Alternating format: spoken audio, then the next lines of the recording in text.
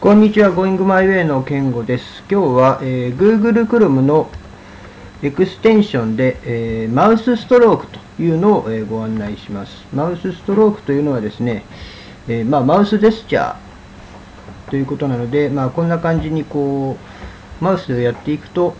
えその通りにブラウザーが動くということで、Firefox などで使っている人が多いと思うんですが、えインストールをしてインストールをします。そうすると、えー Extensions というページを開くとですね、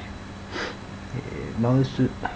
Stroke というのがありますので、ここのオプションを開きます。ちょっと英語のメニューなんですが、例えば、え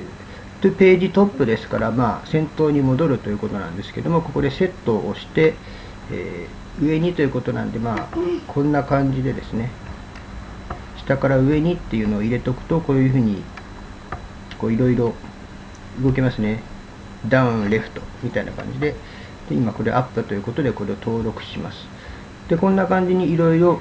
操作を登録していくと、マウスジェスチャーとして使えます。試しに、えやってみましょう。例えばこれ今 BBC のニュースが開いていますが、下のページに行く場合には例えば右クリックしながら一番下に押すとページの、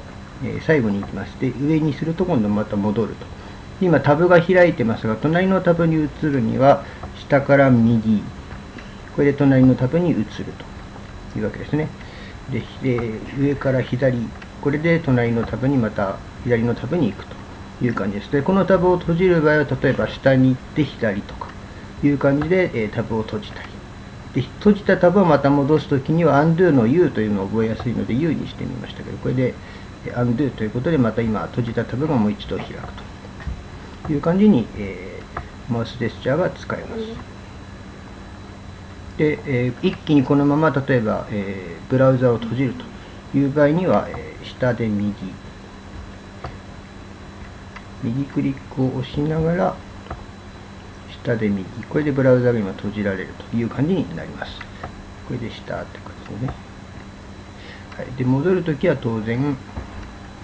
ホームに戻るときはホームなんで H にしてみるとか。これは自分で登録する感じです。こんな感じでマウスジェスチャーをうまく使って、えー、ブラウザで快適な、えインターネットを体験してみてください。Going My Way の敬語でした。